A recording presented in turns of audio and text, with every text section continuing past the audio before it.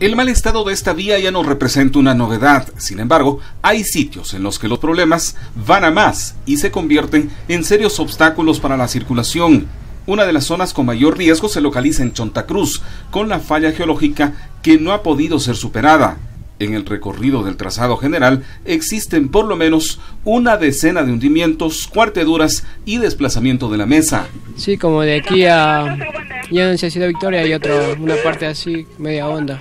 Hay que bajar despacio si no se golpea la, la, parte de adelante del carro. En las cercanías del centro de retención municipal, el hormigón poco a poco se ha ido asentando en un tramo de los dos carriles, con lo que los vehículos deben disminuir la velocidad. Pues en la noche no se ve casi nada por el alumbrado, porque dependiendo de cómo está el clima ahorita, no, como son solares no, no le coge la luz, entonces pues de noche no se ve y, y a veces carros pasan y suena tan feo eh, y se daña por la vía que está así, se dañan los carros. Más adelante, hacia el norte, cerca a la denominada zona de los moteles, se encuentra una gran falla geológica que empuja gran cantidad de material hacia la calzada.